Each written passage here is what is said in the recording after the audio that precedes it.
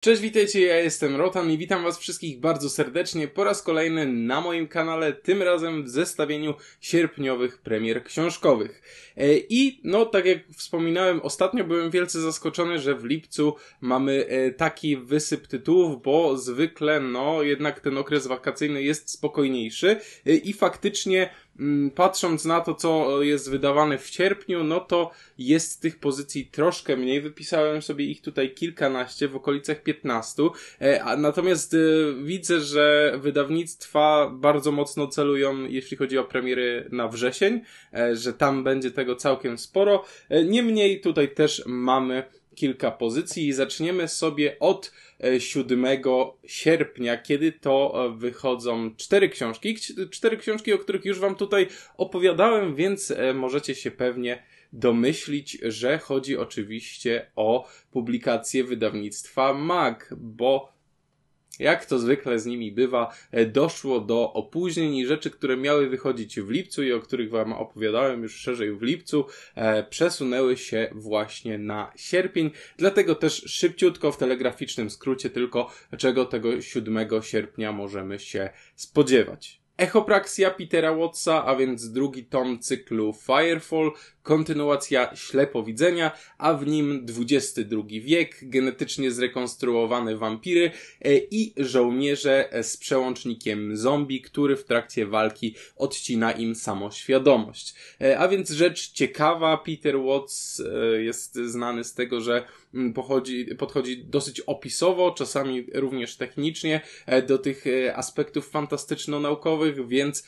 może to być coś ciekawego. Ja muszę się w końcu zabrać za ślepowidzenie E, bo odkładam to od dawien dawna. Miałem w ogóle kupować tą e, łączoną wersję, gdzie mamy i echopraksję i ślepowidzenie w jednym, e, ale w międzyczasie zdążył wyjść, e, zdążyły wyjść te dwie książki osobno, e, więc, więc pewnie sięgnę sobie najpierw po to ślepowidzenie, żeby w ogóle zobaczyć, czy to jest dla mnie. Następnie Shonan Maguire i piąty i szósty tom serii Zbłąkane Dzieci, a więc Wayward Children e, i one noszą tytuły Upadek i Przez Zielone Pola. Oczywiście w Polsce Mag to wydaje właśnie jedna książka obejmuje dwa tomy, czyli było jeden, dwa, trzy, cztery i teraz mamy pięć 6. Następnie Marta Wells e, i Efekt Sieci, a więc pierwsza taka pełnoprawna powieść e, w ramach serii Pamiętniki Mordbota. Wcześniej mieliśmy wydawane e, tom pierwszy, drugi łącznie zbiorczo, tom trzeci, czwarty również zbiorczo, natomiast to były takie no mikropowieści, można by nawet rzec, że trochę bardziej rozbudowane opowiadania, a tutaj dostajemy już pełnoprawną, prawie 400-stronnicową powieść. No i ostatnią książką, która wychodzi 7 sierpnia jest Epoka Śmierci Michaela Jamesa Sullivana, e, czyli piąty i zarazem przedostatni tom serii Legendy Pierwszego Imperium, a więc tej serii prequelowej e, do um, cykli o Rairi, a więc do kronik Rairi i odkrycie Rairi. E, i to jest ten cykl, który ma miejsce tysiąclecia tak naprawdę przed wydarzeniami z tych dwóch serii kolejnych e, i tak naprawdę potem będziemy mieli już tylko tom ostatni, zamykający cały cykl, a więc epokę Imperium. 9 sierpnia Vesper wydaje powieść Zaplecza autorstwa Dawida Keina, znanego również jako Marcin Kiszela e, i tu mamy taki fajny koncept, bo Kane bierze e, backroomsy, czyli ten taki liminal space, tą przestrzeń pograniczną między rzeczywistością a tym, co nierzeczywiste, która się wytworzyła na Forczanie, zdaje się. E, ten, ten cały koncept właśnie w ramach jakiegoś wątku o zjawiskach paranormalnych. Dla tych, którzy nie wiedzą, no backrooms to są właśnie takie duże przestrzenie, w których człowiek może się znaleźć właśnie, jeśli tak trochę um, ucieknie z rzeczywistości. E, czy, czyli tak naprawdę no, wy, wyjdzie gdzieś, wyłączy tą, to, to postrzeganie rzeczywistości i znajdzie się w tym miejscu pogranicznym. Więc dla, dlatego to jest określane właśnie mianem e, przestrzeni liminalnej, tak, liminal space. E, I to jest koncept ciekawy, trochę przerażający, nic dziwnego więc, że, że jest wykorzystywany w historii właśnie w powieści grozy, e, bo Sama książka opowiada o Dawidzie, który w wieku 6 lat zgubił się w galerii i trafił właśnie do, na takie zaplecze, zaplecze rzeczywistości, można by rzec, i, i, i z niego wrócił. Ma takie poczucie, jakby wryło mu się to w pamięć. E, oczywiście zatarło się, zaczyna to kwestionować, natomiast w wieku 24 lat musi wrócić do tej przestrzeni, żeby ocalić wszystko, co jest dla niego drogie. Więc to jest rzecz fajna, no bo e, te backroomsy jako koncept wykształciły się, mam wrażenie, w okolicach roku 2019.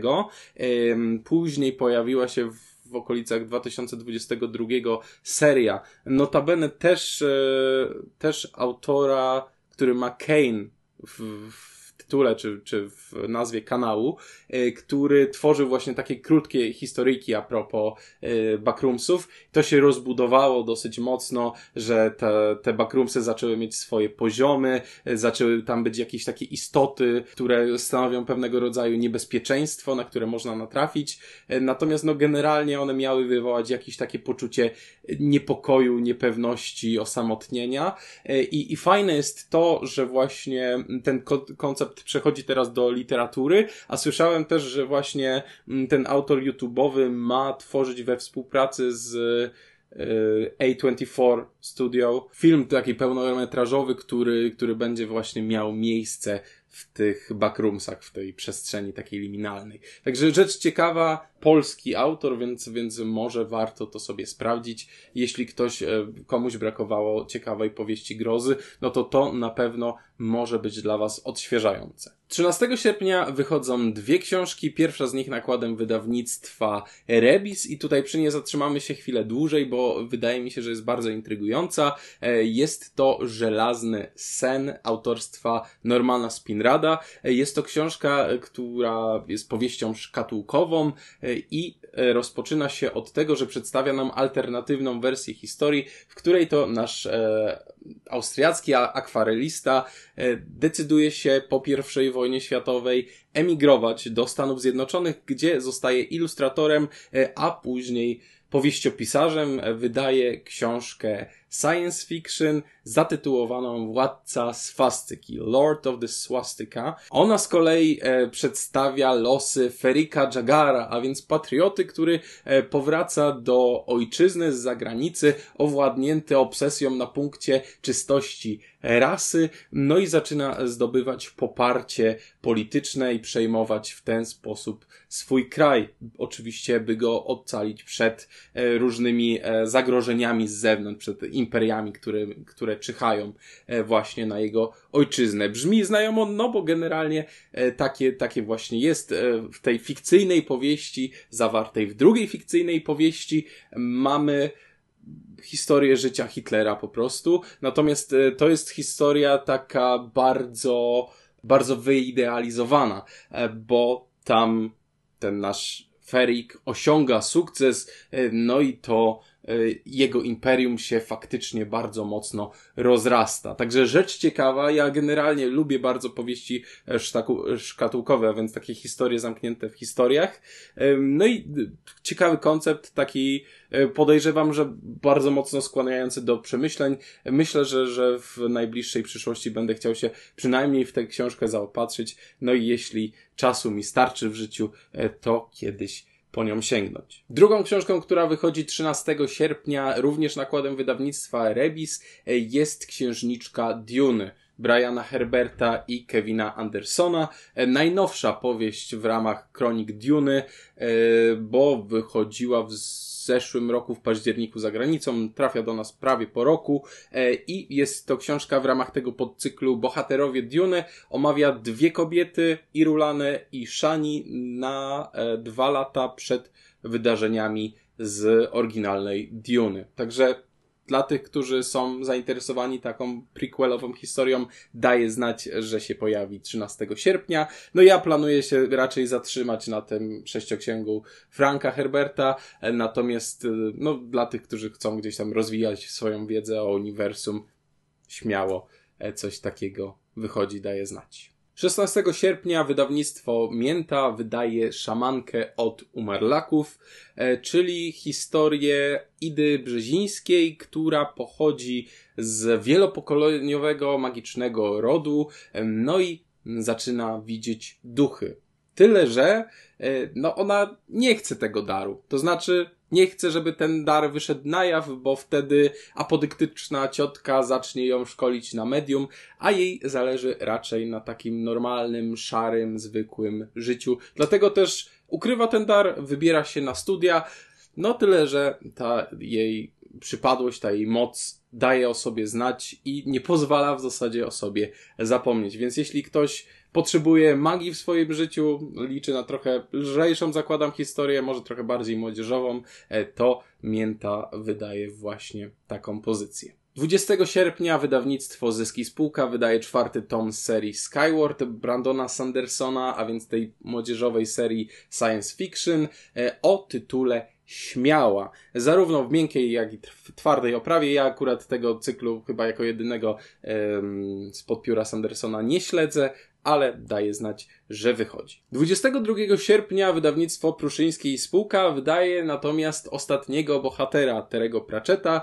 e, w zasadzie no ponownie wydaje z nową okładką, yy, czyli opowieść ze świata dysku, zdaje się siódma i ostatnia, jeśli chodzi o ten podcykl o Rinswindzie yy, i jest to opowieść o Koenie Barbarzyńcy. Jak możemy się domyślać, jest tu parodiowana pewna postać yy, i jego drużynie, której generalnie nie podoba się to, że się starzeją i że opcja w ogóle śmierci ze starości istnieje, więc e, decydują się wspiąć na najwyższą górę e, właśnie w świecie dysku i natłuc bogom, a przynajmniej wyjaśnić, dlaczego takie zjawisko jak śmierć ze starości istnieje i dlaczego istnieć nie powinno. Także rzecz e, zabawna, natomiast e, niezabawna, przerażająca wręcz jest cena tej książki, bo cena okładkowa to jest 120 zł.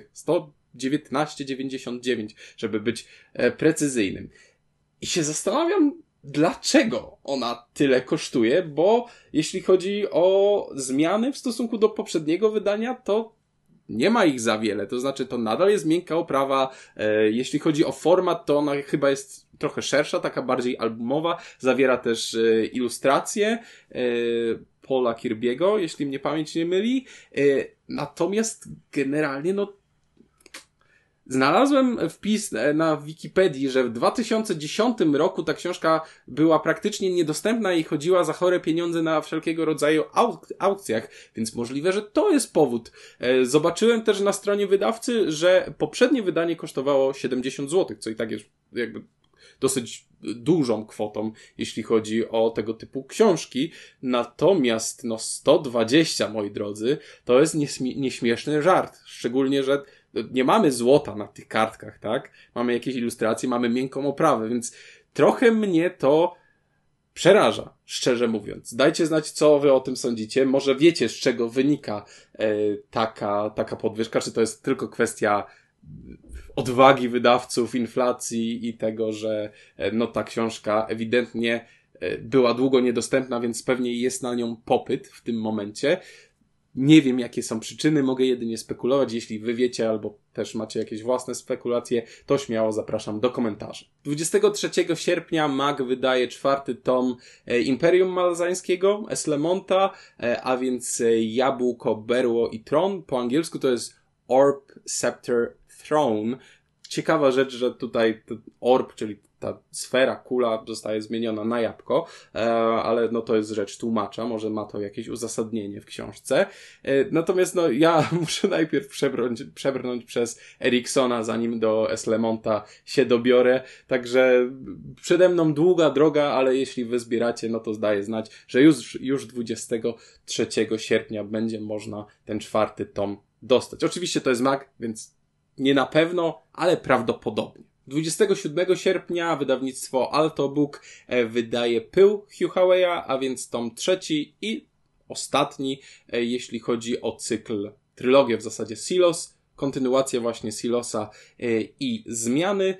No ja jeszcze się na, za tą serię postapokaliptyczną nie zabrałem, ale mam nadzieję, że mi się spodoba i chętnie sięgnę po te dwa tomy kolejne. 28 sierpnia powinniśmy od Maga dostać Murtaga, więc tom piąty, e, jeśli chodzi o cykl Dziedzictwo, rozpoczynający się od Eragona oczywiście. E, I tutaj informacja od wydawcy, że można tę książkę czytać osobno, nie znając e, książek poprzednich, bo ona skupia się właśnie na postaci Murtaga, który odgrywa swoją rolę w wydarzeniach e, z, z tomów poprzednich, natomiast tu podobno jest to też dobra, e, do, dobra książka, żeby wejść w świat Eragona, szczególnie, że no, tu była duża różnica e, warsztatowa, jeśli chodzi o te początki, gdzie, gdzie właśnie Paolini był nastolatkiem, a teraz, kiedy jest już powiedzmy doświadczonym pisarzem, więc ten, ta różnica warsztatowa pewnie będzie odczuwalna. Tego samego dnia Vesper wydaje natomiast Lato Nocy Dana Simonsa,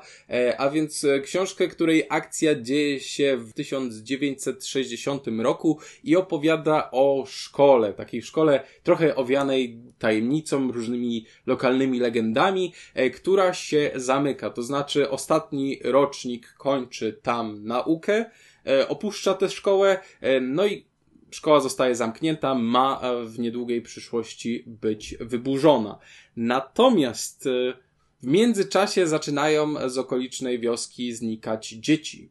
No i nasza ekipa, bo śledzimy właśnie głównych bohaterów w postaci tego uczniów tego ostatniego rocznika wraca do tej szkoły, żeby e, zbadać te tajemnice, odkryć co tam się złego dzieje, czy to jakieś demoniczne moce e, i czemu dzwon na dzwonnicy właśnie w tej szkole e, niepokojąco ostatnio zwiększył swoją aktywność, mimo że szkoła jest zamknięta. Także jeśli komuś brak historii grozy, to to też może być rzecz ciekawa. 30 sierpnia Mac ma wydać Smoczym Roka, więc e, dziesiąty tom serii Skrzydła Ognia, aczkolwiek nie mamy okładki, to jest końcówka miesiąca, więc ja bym się tutaj nie nastawiał. Zdążyłem się nauczyć, że jeśli coś jest tak blisko właśnie końcówki miesiąca, to jest duże prawdopodobieństwo, e, że um, ta premiera przesunie się na miesiąc kolejny. Niemniej, jeśli ktoś jest fanem tej serii o smokach, e, to no prawdopodobnie niedługo, pod koniec przyszłego miesiąca, ewentualnie we wrześniu, ten dziesiąty e, tom się na rynku pojawi. Tego samego dnia Vesper wydaje pana Slotera, e, a więc kolejną książkę Roberta McCamona w ramach tego cyklu o e, Matthew Cobercie. Tutaj mieliśmy już Zew Ptaka Nocy oraz Królową Bedlam. Tym razem natomiast nasz detektyw wybiera się do e, zakładu psychiatrycznego pod Filadelfią, by właśnie eskortować seryjnego mordercę pana Slotera e, z tego ośrodka do nowojorskich doków. Towarzyszy mu jego partner e, w tej właśnie podróży, natomiast w jej trakcie pan Slotter składa im bardzo kuszącą i ciężką do odparcia propozycję.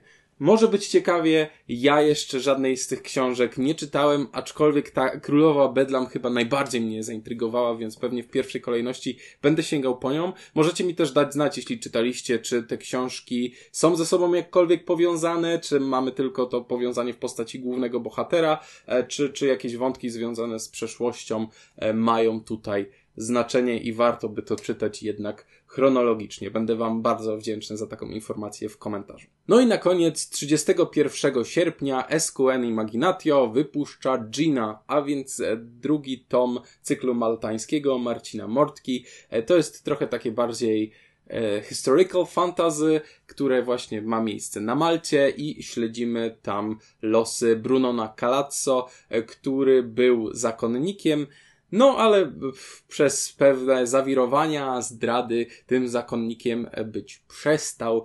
No i musi sobie radzić, poznawać swoją historię, przeszłość. Na tym skupiał się tom, tom pierwszy. Nie wiem, o czym jest dokładnie tom drugi, aczkolwiek no, Jean mówi trochę sam e, za siebie, czego możemy się w tej historii spodziewać. I to by było w zasadzie na tyle, jeśli chodzi o premiery sierpniowe. Kilkanaście pozycji, niektóre bardziej interesujące, niektóre trochę mniej. E, niemniej jednak bardzo serdecznie dziękuję Wam za uwagę. Mam nadzieję, że ten materiał Wam się podobał. Jeśli tak, nie zapomnijcie zostawić łapki w górę, komentarza. E, no i oczywiście dzielcie się w komentarzach również e, premierami, na które Wy czekacie, a których możliwe, że ja w tym filmie po prostu nie zawarłem. Dziękuję za wszelkiego rodzaju aktywność, komentarze, lajki, subskrypcje. Zachęcam do dalszego subskrybowania, lajkowania, komentowania. No i do zobaczenia w kolejnym materiale. Na razie, cześć.